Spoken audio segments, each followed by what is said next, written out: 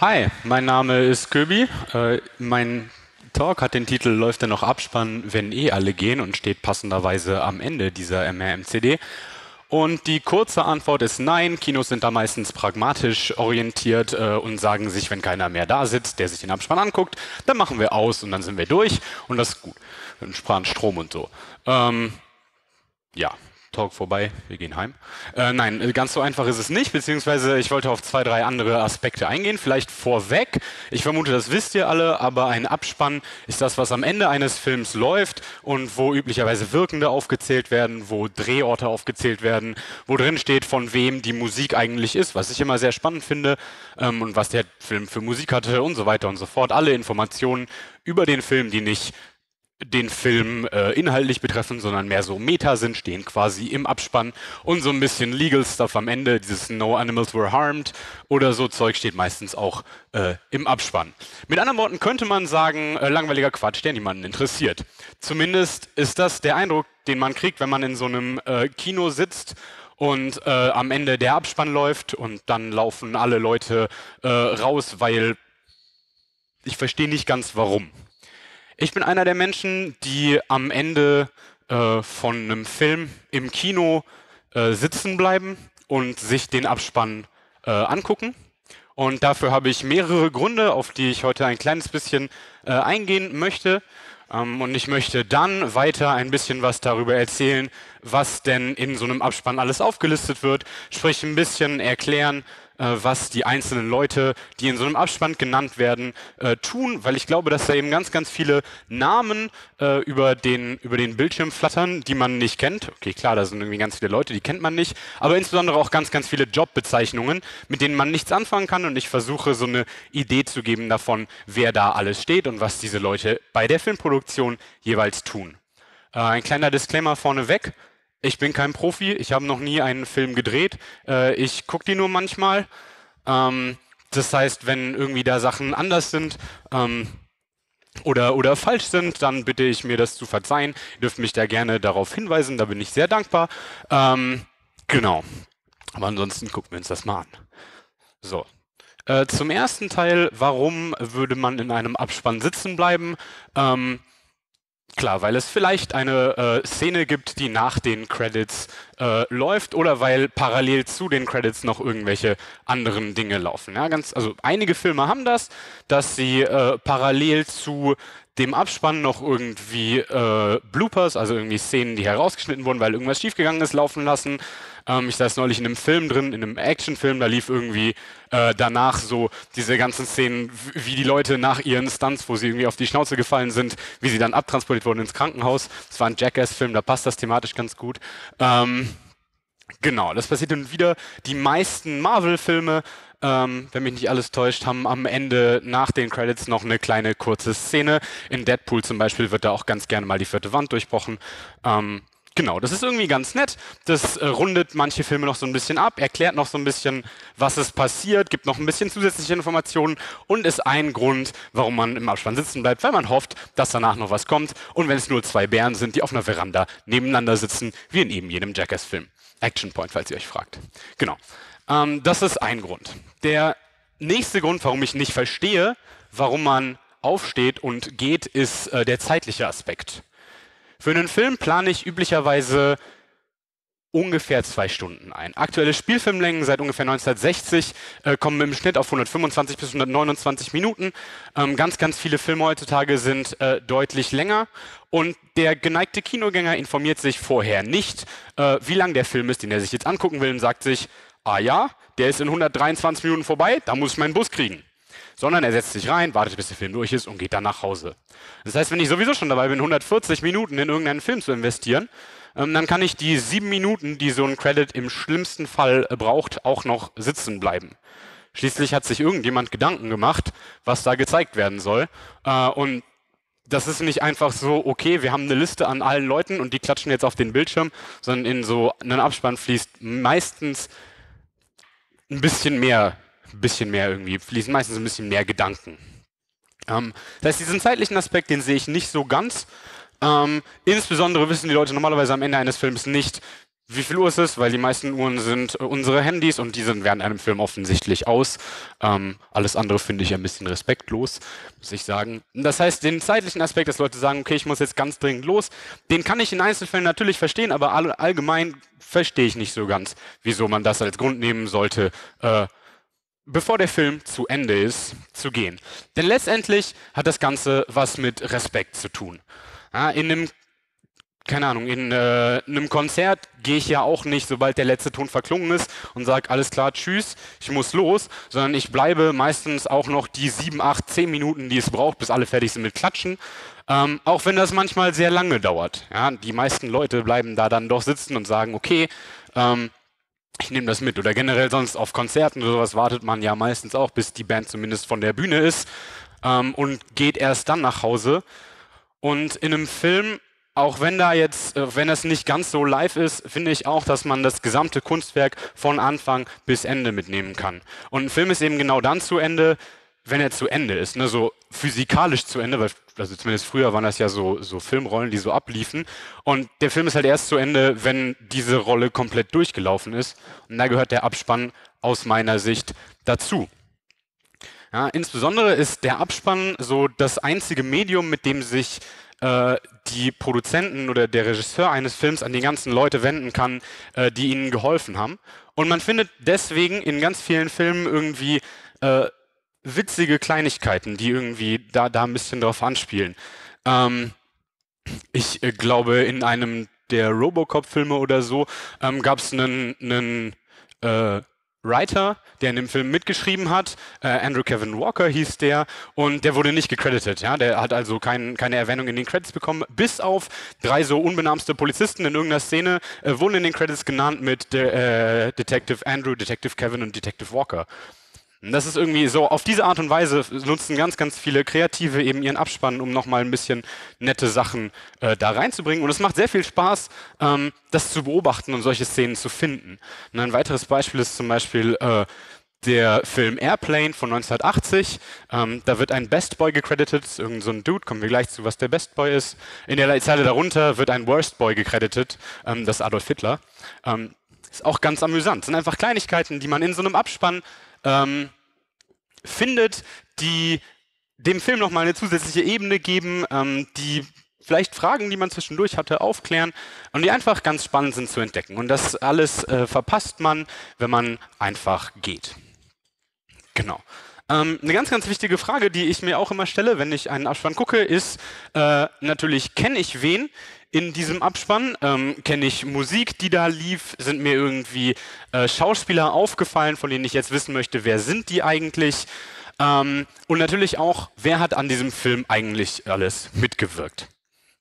Genau. Warum ich in äh, einem Abspann sitzen bleibe, habe ich jetzt mehr oder minder erklärt, glaube ich. Das sind so die, die Hauptgründe, die mir einfallen. Vielleicht fallen euch weitere Gründe ein.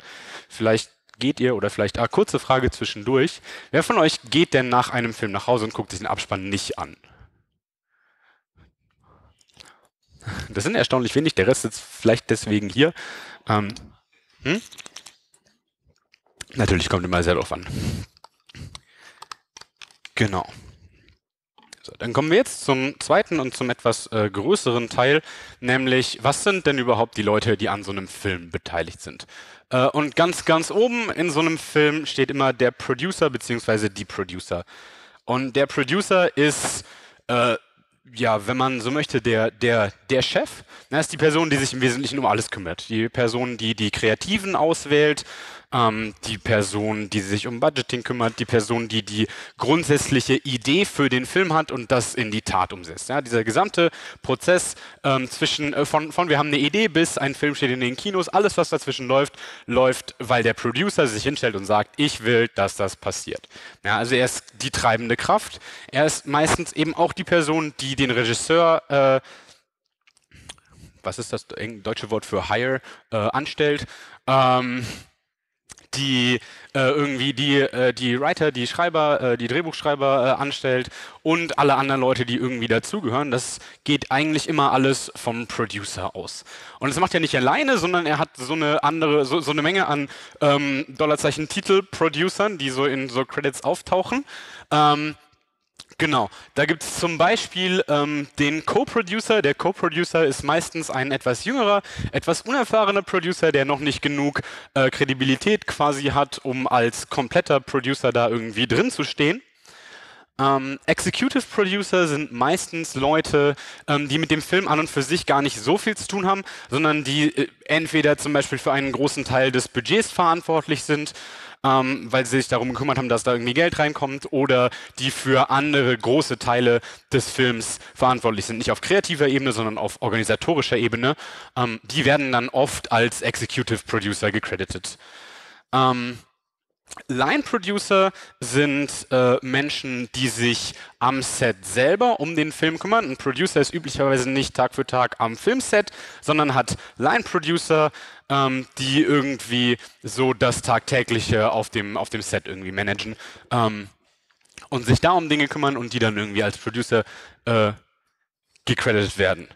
Genau, und Associate Producer sind ein bisschen, geht ein bisschen in die Richtung Executive Producer, sind eben auch Leute, die ähm, sich assoziiert um einzelne Aspekte kümmern. Ähm, das kann durchaus auch kreativ sein, aber die eben nicht so ein ganz so ein breites Aufgabenspektrum äh, haben. Genau. Sobald wir äh, einen Producer haben, der, äh, einen, der einen Film äh, produzieren will, ähm, brauchen wir so eine andere, äh, so, so, eine weitere Menge an, an ähm, Schlüsselpersonen für einen Film, damit das Ganze überhaupt irgendwie funktionieren kann. Die wichtigste davon ist sicherlich der Director, ähm, der Regisseur eines Films. Das ist der Hauptkopf der kreativen Arbeit.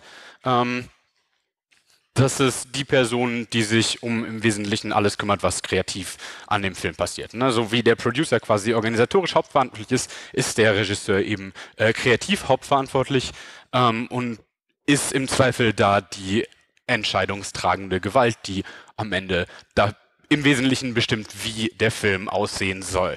Ja, die meisten Regisseure gehen an den Film ran, ähm, zum Beispiel ich glaube, Kubrick war das, der meint, Filme drehen ist eigentlich voll langweilig, weil wenn er anfängt, einen Film zu drehen, dann hat er komplett im Kopf, wie der Film aussieht und sorgt dann nur noch dafür, dass äh, nachher auf irgendeinem so äh, Zellophanband auch tatsächlich die Bilder, die er im Kopf hat, irgendwie drauf sind. Ähm, und eigentlich ist es gar nicht so spannend. Genau, das ist also quasi die Person, die das Ganze kreativ leitet. Ähm, die nächste wichtige Person ist, äh, die sind die Drehbuchautoren, die offensichtlich fürs Drehbuch verantwortlich sind.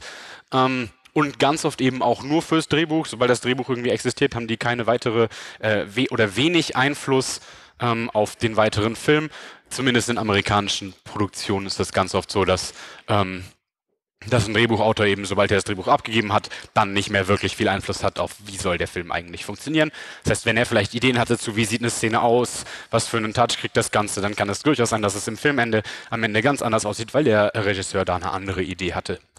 Ähm, Genau. Und die nächsten Personen, die man irgendwie braucht, damit das Ganze funktionieren kann, äh, ist der Cast, sprich sind die Schauspieler, die am Film mitwirken. Da unterscheidet man zwischen einem Primary Cast und einem Secondary Cast. Der Primary Cast sind eben alle Leute, die irgendwie einen Namen haben, die eine Sprechrolle haben, die wichtig sind für den Film, sage ich mal, und wo es halt auch wichtig ist, welche Person spielt das gerade.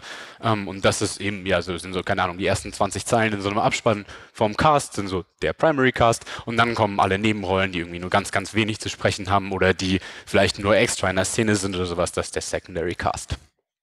Genau, und wenn man diese Leute beisammen hat, dann äh, ist äh, im Filmbudget eine Linie. Das heißt, wenn so ein Film budgetiert wird, äh, dann ist in diesem Budget irgendwo eine, eine Linie drin, so physikalisch ist da so ein Strich. Ähm, und alle Leute, die bis jetzt genannt wurden, sind, äh, sind das, was man above the line nennt. Ja? Sprich, das ist irgendwie, okay, ähm, mit diesen Leuten handeln wir einzeln aus, wie viel Geld sie dafür kriegen. Ähm, diese Leute sind uns irgendwie sehr, sehr wichtig. Ähm, und diese Leute werden quasi nicht nach Tarifvertrag bezahlt, sondern da macht man irgendwie immer einzelne Verträge. Das ist so ein bisschen ähm, nachher das, was den Großteil des Budgets auch einfach ausmacht. Ähm, weil es sind irgendwie, keine Ahnung, 15, 20 Leute above the line und die kriegen einen sehr, sehr großen Teil des Filmbudgets nachher irgendwie als Geld. Ähm, Genau, und das sind eben keine Kosten, mit denen man quasi vorher schon rechnen kann, weil es noch nicht so ganz klar ist, wie viel will jetzt eigentlich Jack Nicholson dafür, dass er hier diese äh, Drei-Minuten-Rolle spielt. Will er eher viel oder eher wenig? Mal gucken. Genau. Aber das ist quasi das, was man, genau, was man above the line nennt. Ähm, below the line kommt das, was man meistens als Produktionskosten ansetzt, sprich die Kosten für den gesamten Rest ähm, der Leute, die an so einem Film beteiligt sind. Da gibt es zum einen das, was den Produzenten unterstützt, die sogenannte Production Unit. Ähm, vielleicht als kurzer Disclaimer vorweg, all diese Sachen gelten sehr, sehr stark für so Hollywood-Filmproduktionen. Ähm, und wie das nachher en Detail aussieht, was für Aufgaben jede einzelne Person hat, äh, ist sehr, sehr stark von Produktion zu Produktion unterschiedlich. Die Leute haben offensichtlich auch sehr andere Namen, je nachdem, in welchem Land man sich äh, so gerade befindet. Genau, was im Englischen der Director ist, ist im Deutschen der Regisseur, ist im Französischen der Realisateur. Was im Französischen der Regisseur ist, ist im Deutschen der erste Aufnahmeleiter, ist im Englischen der Unit Production Manager. Ja, also die Begriffe unterscheiden sich da durchaus ein bisschen. Ähm, Genau, und ähm, der Production Unit vorsteht quasi der Unit Production Manager. Das ist im Wesentlichen sowas wie ein Line Producer, also jemand, der sich tagtäglich um die Organisation am Set kümmert, ähm, der irgendwie Callsheets schreibt, der ähm, genau quasi für die Dispo verantwortlich ist, was weiß ich nicht alles. Ähm, und ja, das Ganze irgendwie am Laufen hält und je nachdem, ob man quasi als Line Producer oder als Unit Production Manager angestellt ist, äh, macht man das gleiche, kriegt aber mehr oder weniger Geld. Ähm, Genau, also dieser Person unterstehen, unterstehen, dieser Person unterstehen dann auch äh, alle äh, Köpfe von allen anderen Departments, also irgendwie äh, der Hauptlichttechniker oder der Hauptkameramann oder ähm, weitere Leute unterstehen irgendwie quasi dem, ähm, dem Unit Production Manager. Genau. Dann ähm, haben wir üblicherweise einen äh, Production Coordinator. Das ist, wenn man so möchte, sowas wie der Geschäftsführer von der Produktion.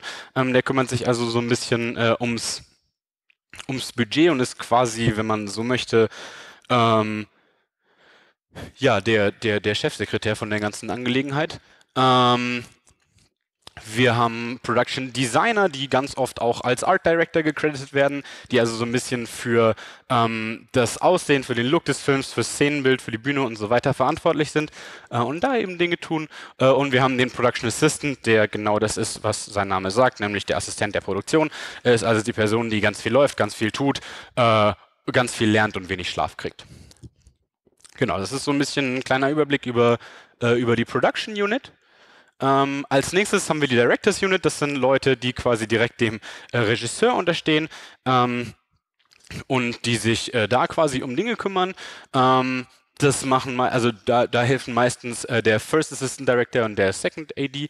Ähm, Second Assistant Director, die sich irgendwie um den äh, Shooting Schedule kümmern, die sich um Logistik ähm, kümmern, die mit den anderen Departments irgendwie kommunizieren. Also jeder, der äh, irgendwie viel zu sagen hat, hat üblicherweise ein, zwei Leute, die ihm unterstehen, die ihm assistieren, die ihm einfach in seinen Aufgaben quasi helfen. Die meisten Filme haben, oder gerade größere Produktionen haben neben ähm, einem Director auch noch eine Second Unit. Ja, das heißt, sie haben quasi äh, alle die Leute, die es da gibt, nochmal. Ähm, und die sind dann dafür verantwortlich, äh, die ganzen Szenen zu drehen, in denen der Primary Cast nicht beteiligt ist. Ja, das heißt, wenn wir irgendwie in einem Film ähm, sagen wir Fuck you Goethe, da gibt es eine sehr schöne Szene, wo irgendwie so eine kleine Kamerafahrt von so einem Meter ist, die durch so ein sonnendurchflutetes Klassenzimmer mit Stühlen oben schwenkt. Ähm, ist ein wunderschöner äh, Second Unit Shot, ja, weil dafür braucht man nur wirklich ähm, keinen übertrieben krassen Kameramann, ähm, sondern man braucht und, und, niemanden, der vor der Kamera steht, sondern man braucht irgendwie ein Klassenzimmer äh, und ein bisschen Beleuchtung von draußen und dann lässt man eine Kamera durchfahren und dann ist es okay. Und dann muss sich natürlich auch irgendwer darum kümmern, dass das aufgenommen wird, aber das muss nicht die Person sein, die nachher kreativ für den Film verantwortlich ist, sondern der Director kann im Wesentlichen seinem Second Unit Director sagen, hey, ich bräuchte da äh, so ein so Shot von irgendwie so einem leeren Klassenzimmer mit Stühlen oben ähm, und dann kümmert sich der darum. Ne? Oder auch wenn wir so haben so Sachen haben wie unser Main Actor macht eine Tür auf ähm, und dann haben wir einen Close-up von der Hand, wie sie an die Türklinke greift. Das ist ganz oft eben auch ein Second Unit Shot, sprich ähm, für diese, keine Ahnung, ähm, für die Zeit, die es braucht, um diese Szene ähm, zu filmen, müssen wir nicht unbedingt unseren Primary Cast bezahlen, sondern tut uns auch ein Handmodell, ähm, was deutlich günstiger ist, dass da diese, diese Tür öffnet. Wir müssen auch nicht irgendwie äh, unseren super teuren Kameramann und unseren super teuren Regisseur bezahlen, sondern das lassen wir alles über unsere Second Unit laufen. Und ein ganz wichtiger Mann da ist eben der Second Unit Director, also der Regisseur von dieser ähm, Second Unit. Und ähm, wer auch noch zum, zur Directors Unit gehört, ist der sogenannte Script Supervisor. Der kümmert sich darum, ähm, dass das, was im Skript steht, auch mit der Realität irgendwie übereinstimmt. Und das sind insbesondere so Sachen wie irgendwie Kontinuität, also darauf achten, dass von Einstellung zu Einstellung die Position von, von Personen irgendwie passt oder ähm, dass eine Person nicht irgendwie, keine Ahnung, vom Bad in die Küche läuft und im Bad hat der ein rotes T-Shirt an und in der Küche hat der ein grünes T-Shirt an. Da ist der Script Supervisor einfach für da, dass äh, solche Dinge nicht auftreten. Genau, das ist die Directors Unit. Dann äh, schauen wir uns ähm, die Camera Unit an. Deren äh, Head ist der sogenannte Director of Photography oder Cinematographer und das ist einfach der Hauptkameramann eines Films. Ähm, der ist also im Wesentlichen dafür verantwortlich, dass äh, das Bild nachher in die Kamera reinkommt. Ähm, das heißt nicht unbedingt, dass er tatsächlich auch die Person ist, die die Kamera bedient, sondern er, er ist einfach quasi äh, der Chef vom Bild und koordiniert, wo sollen welche Lichtpunkte sein oder sagt, okay, wir brauchen hier mehr Licht, wir brauchen da weniger Licht ähm, und kümmert sich generell um Dinge. Ist ganz oft natürlich auch hinter der Kamera, aber muss das nicht unbedingt sein, sondern äh, überlässt das im Zweifel irgendwie Camera äh, Operators, ähm, Leuten, die die Kamera dann tatsächlich bedienen. Der hat natürlich auch äh, irgendwie Assistants, den äh, First Assistant Camera und den Second AC, die ähm, zum Beispiel für das Laden des Films verantwortlich sind oder ähm, für die Klappe oder irgendwie weitere Dinge. Genau, das sind genau, Menschen, die sich so mit um die Kamera äh, kümmern. Ähm, zur Kameraeinheit oder zum Bild generell äh, gehört, äh, gehören die Grips. Ähm, Grips sind die Menschen, die ähm, auf dem Film dafür verantwortlich sind, Equipment von A nach B zu schieben.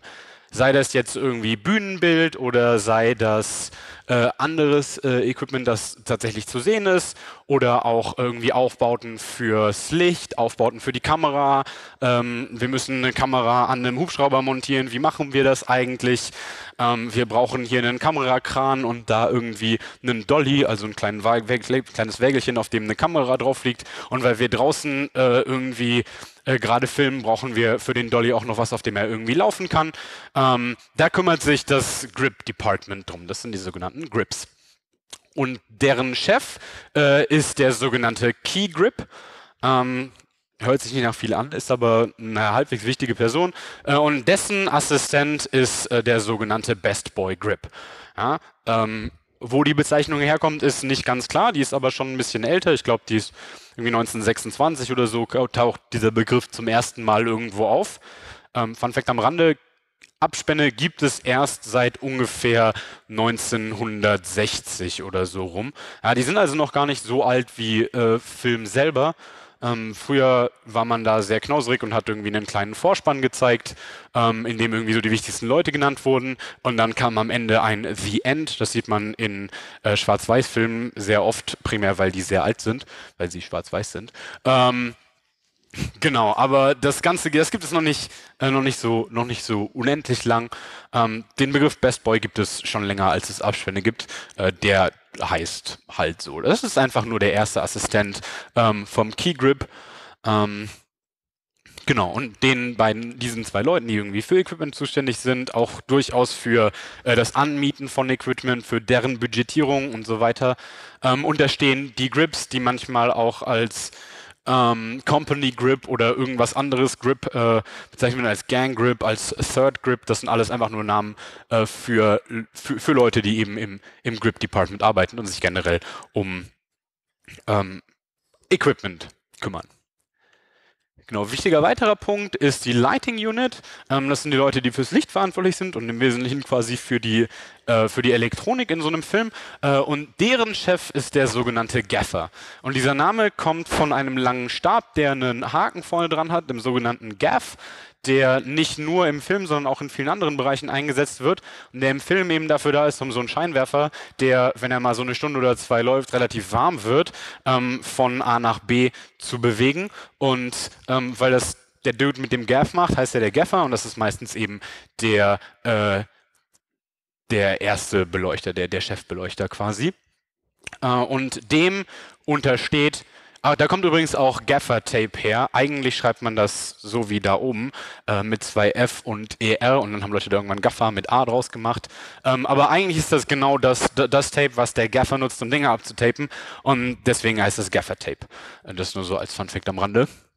Genau, dem untersteht als erster Assistent ähm, der Best Boy, der hat da auch keinen Titel hinter, sondern das ist quasi, ähm, wo das ursprünglich herkam, dann wurde es auch im Grip Department äh, verwendet, aber genau, da kommt das quasi her und denen untersteht, da, unterstehen dann eben wieder äh, ganz viele Electricians, die weitere Beleuchter sind und sich um Licht am Film kümmern. Genau, jetzt brauchen wir noch eine Sache, damit wir einen Film haben. Wir haben eine Kamera, wir haben Licht, äh, wir haben Equipment für alles andere, jetzt brauchen wir noch Sound. Ähm, der Mensch, der sich dafür kümmert, darum kümmert, wie sich so ein, äh, so ein Film eigentlich anhört am Ende, ist äh, der sogenannte Sounddesigner, der designt den Sound, das kann man sich, glaube ich, ganz gut vorstellen. Ähm, Genau, wichtig da ist insbesondere der sogenannte Boom Operator. Ähm, ein Boom ist ein ganz langer Stab, an dem äh, am Ende so ein Mikro dranhängt und der Boom Operator ist der Dude, der dieses Mikro so über die Leute hält ähm, und dafür sorgt, genau, dass irgendwie Sound weil das, das, was Leute sprechen, irgendwo ankommt. Ähm, ja, den nennt man irgendwie Boom Operator und der Third Man in der Sound Unit ist die Person, die sich um so den ganzen äh, restlichen Sound kümmert. Also das, was irgendwie von der Szene ähm, eingefangen wird. Genau, das ist irgendwie, irgendwie der Third Man, der sich auch so ein bisschen um Kabelmanagement im Sound kümmert. Ähm, den nennt man so.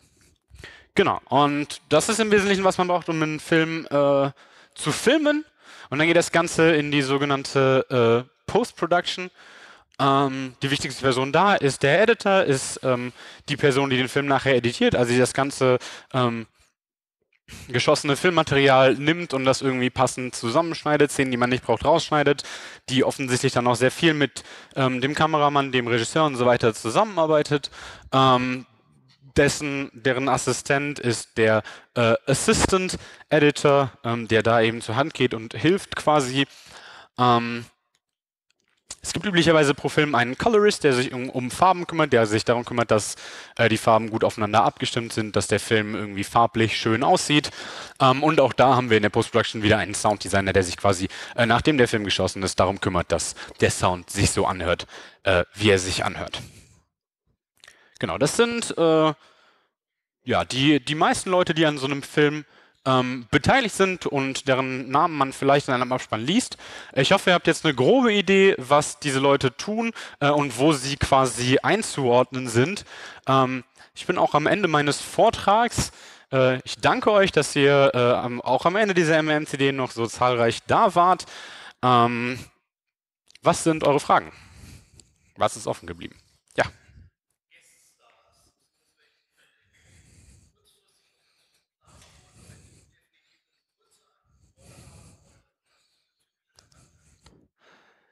Ähm, die Frage war, was ist der typische äh, Charakter eines äh, Guest Stars? Ähm, da muss ich dir ehrlich sagen, kann ich dir nicht so super viel zu sagen. Ich vermute, das sind ähm, im Zweifel genau Leute, die nur eine kurze, äh, nur, nur, eine kurze Rolle haben, Leute, die irgendwie mit ähm, dem Producer, dem Regisseur befreundet sind und deswegen in dem Film auch auftreten.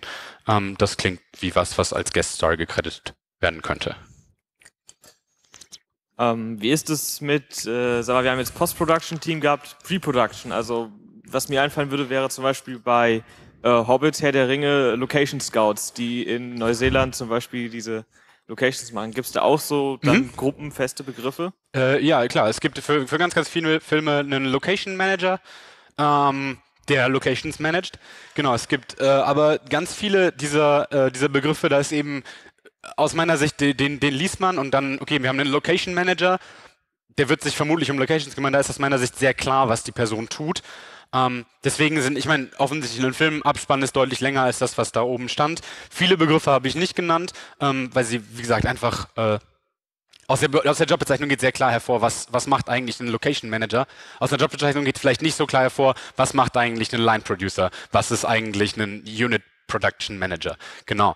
Ähm, aber ja, du hast völlig recht. Es gibt darüber hinaus noch viel, viel, viel, äh, viel, viele, viele, viele Leute, die an einem Film beteiligt sind, die äh, deren Jobbezeichnung ich jetzt nicht genannt habe. Zum Beispiel den Location Manager. Wenn es keine Fragen mehr gibt, äh, dann sage ich vielen Dank und äh, wünsche euch noch eine schöne Heimreise.